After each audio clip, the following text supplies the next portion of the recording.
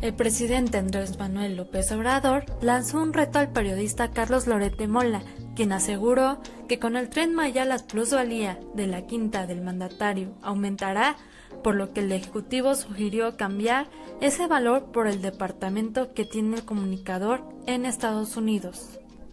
Este periodista, Lorete Mola, dice que este, todo lo que se está haciendo en el sureste o el tren Maya, es porque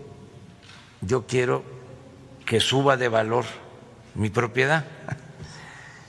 que me beneficio con la plusvalía.